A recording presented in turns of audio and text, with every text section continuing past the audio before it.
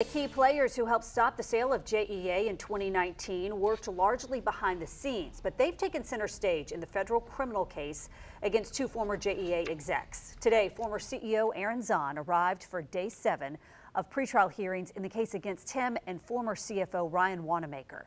Both have pleaded not guilty to fraud and conspiracy charges for crafting a plan prosecutors say would have been a multi-million dollar windfall for them if JEA was sold.